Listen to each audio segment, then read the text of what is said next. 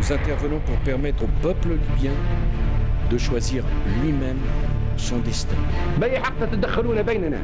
people of Libya must be protected. من أعطاكم هذا الحق؟ الدول العربية لن تقف مكتوفة الأيدي في شأن ما يتعرض له الشعب الليبي الشقيق ما مبرر هذا العدوان؟ هذا العدوان قضية الحرية بس الأرض الليبية أصبحت جحيم